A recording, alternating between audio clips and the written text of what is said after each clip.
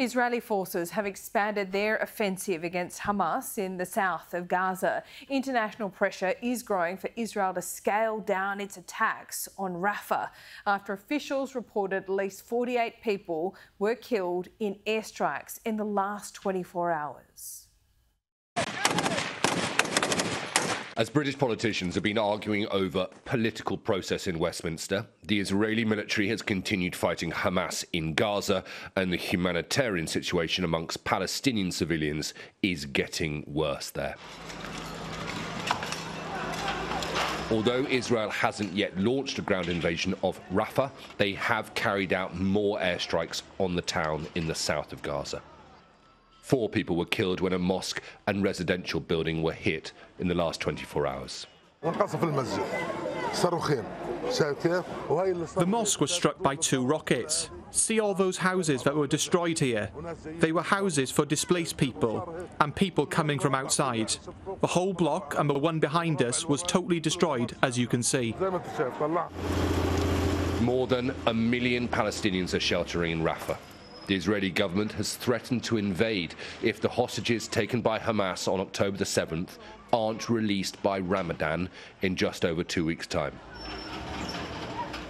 International aid organisations and an increasing number of foreign governments, including the British and American, are warning Israel not to launch the operation. In reality, a vote in the House of Commons in Westminster is not going to change the course of the war in Gaza. It's not going to change the opinion of the Israeli government, and it's not going to change opinions here at the Israeli Knesset. But it does signal a growing shift in global opinion amongst lawmakers around the world that a ceasefire in Gaza is now needed sooner rather than later. Today, the aid organization Médecins Sans Frontières gave this warning to the UN Security Council.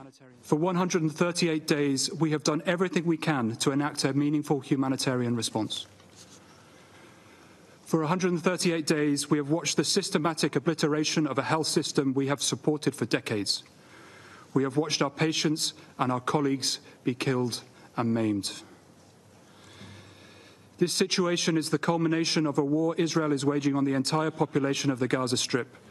A war of collective punishment, a war without rules, a war at all costs.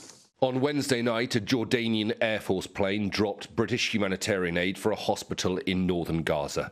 It is one of the only ways to get aid into the north of the Strip right now.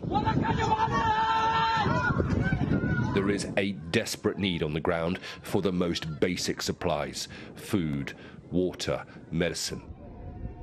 People are looting trucks for whatever they can get.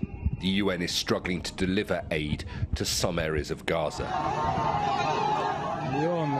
It is images like these that are driving politicians and diplomats around the world to try and find an end to the fighting.